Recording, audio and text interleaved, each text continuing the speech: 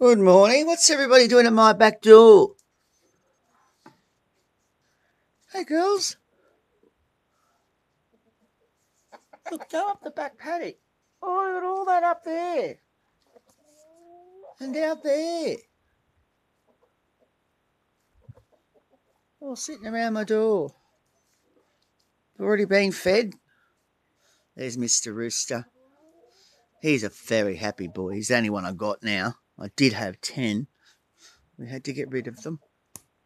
There's all my babies, all grown up. All the black ones and this white one I've had since they were a couple days old. They just started all laying eggs themselves. Big girls, a very good life. At all the mountains and the paddocks and everything. They just seem to stay around the house. But the gates and that are open. They've got choices.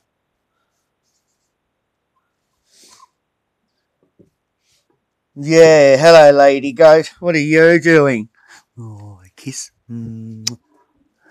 What are you doing? You want to come inside? No. You make too much mess. Make too much mess. Bye. Later. Bye. It's only six o'clock in the morning. Go away. Oh, we got snow on top of the mountain. Hey. Bye.